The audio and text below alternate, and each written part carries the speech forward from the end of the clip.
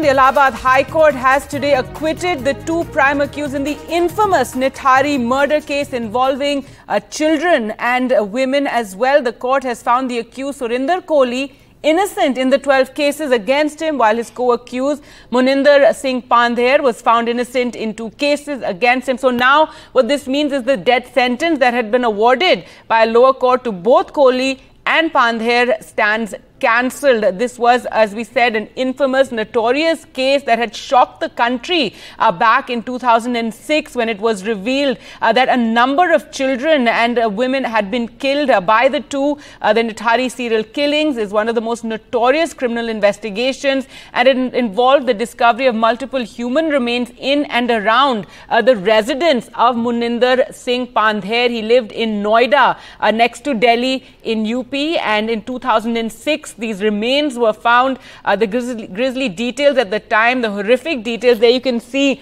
uh, the visuals then uh, of, of the digging process that had taken place after body after body were found in drains around the residence of uh, Moninder Singh Pandher. It sent shockwaves across the country and led to a lot of soul searching because those children who were killed, who had gone missing over a period of time, belonged to the poorest of the poor families in the area. Mm, the police was accused of not heeding uh, to their complaints just because they were poor. And it, it, it created a lot of horror and anger and outrage as well. Let's go across to Tanishq now for more. Tanishq, if you can tell us what exactly happened in court.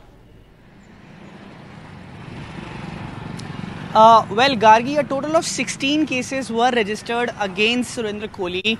Um, and out of them, uh, 12 in, in, in 12 cases where he was awarded death, death penalty, uh, he has been acquit, acquitted in all the 12 in all, all the 12 cases. This means the death penalty stands cancelled for Surinder Koli and also for in the two cases in which Moninder Singh Pan, uh, Monan Singh Pandher was accused uh, in, in the two cases in, in the two cases.